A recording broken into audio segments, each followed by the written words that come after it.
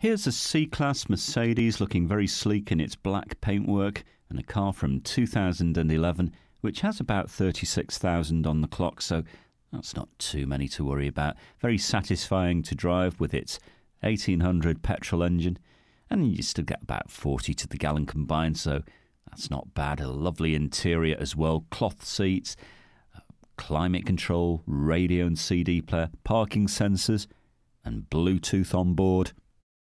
Now, don't forget, at FOW, the price you see is always the price you pay. There's no hidden charges or extras. You can ring and reserve with no deposit and no obligation. Bring your licence with you, have a test drive.